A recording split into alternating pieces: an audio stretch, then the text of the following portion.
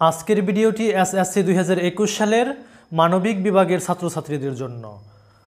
কারণ আজকের এই ভিডিওতে আমি ভূগোল ও পরিবেশ সাবজেক্টের শর্ট সাজেশন দিব।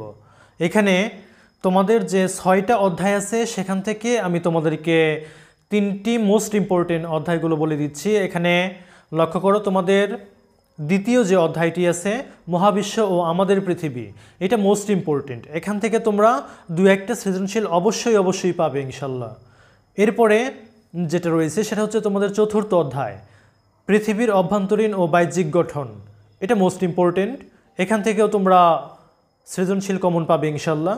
এরপরে যে অধ্যায়টি রয়েছে, সেটি হচ্ছে তোমাদের দশম অধ্যায়, বাংলাদেশের ভৌগোলিক বিবরণ।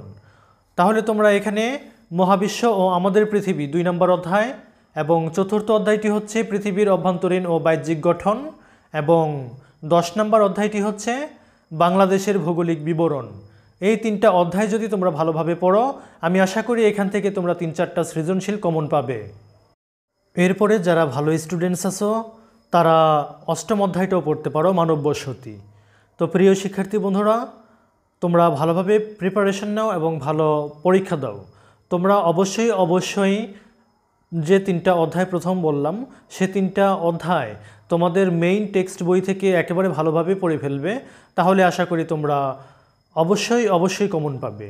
তিনটা অধ্যায় থেকে কমপক্ষে তিন থেকে চারটা প্রশ্ন, সৃজনশীল প্রশ্ন কমন পাবে। ধন্যবাদ সবাইকে সাথে থাকার জন্য।